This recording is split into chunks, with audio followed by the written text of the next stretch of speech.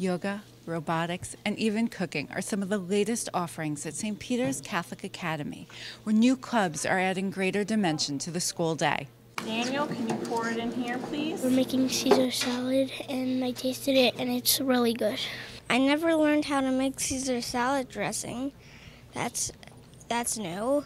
It was so good, and I will probably make it at home. The kids seem to love it. They really enjoy coming. They look forward. They see me in the hall and they're like, Miss Alfeo, are you ready to cook with us? We started the clubs because we wanted children to see that it's just not academics all day long, that we wanted to know school can be fun. There are some interesting things they can do. I love to cook. We learned how to make pasta, tacos, salads.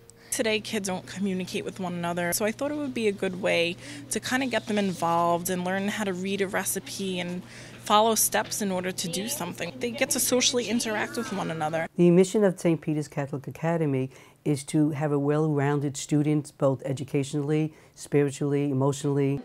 We try to help the students to be to work to their true potential. Various clubs at St. Peter's Catholic Academy enable students to reach that potential. We want to teach them self-esteem, that, you know, God created each of them and they're all special in their own way.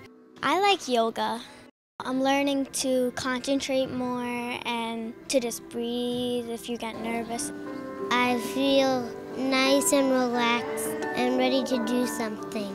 Like prepared doing a test or doing some activities. So we're trying to bring new things to the students to expose them to different things that they'll need for success.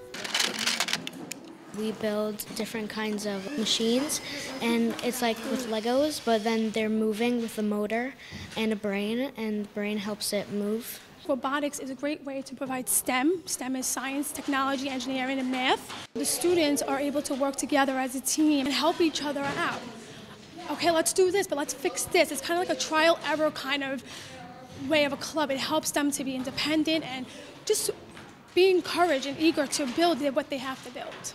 As St. Peter was the foundation of the church, we hope that we are giving them the keys to improve and to aspire and go on to high school and do the best they can. Carrying on the mission of Catholic education in the Bensonhurst and Bath Beach area, St. Peter's Catholic Academy uses innovative ways to educate the whole child.